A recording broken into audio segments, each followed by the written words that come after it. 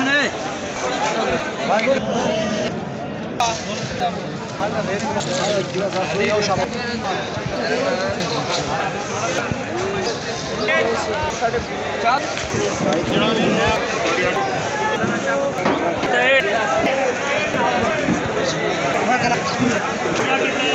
you.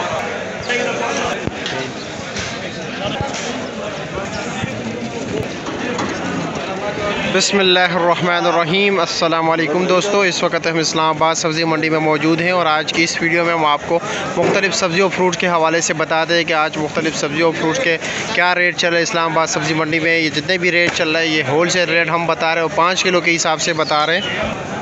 ये भी देसी लूमू है और लोग इसको ढूंढ ढूंढते मिलते नहीं है। देखते हैं कि क्या रेट क्या रेट चला रहे हो? बारह सौ रुपये का पाँच किलो है, साथ जो है कटी पड़ी हुई है। क्या रेट है उसका कटी का? पाँच सौ रुपये का पाँच किलो, यानी सौ रुपये किलो।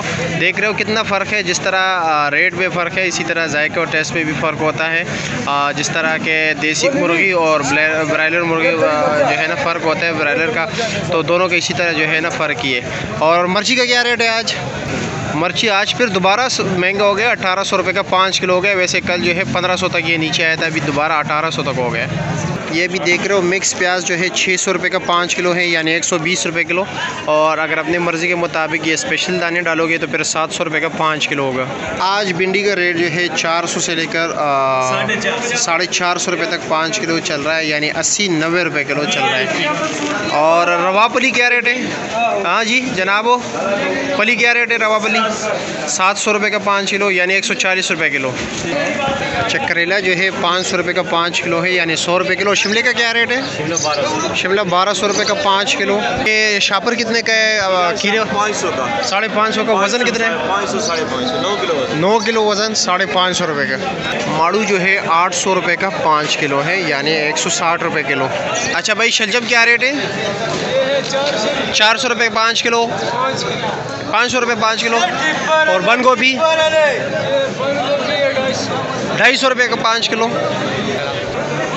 गलत रेट बताया। ये बोल। मैं क्या करेंगे? असर एक सौ बीस रुपये चार सौ चार सौ।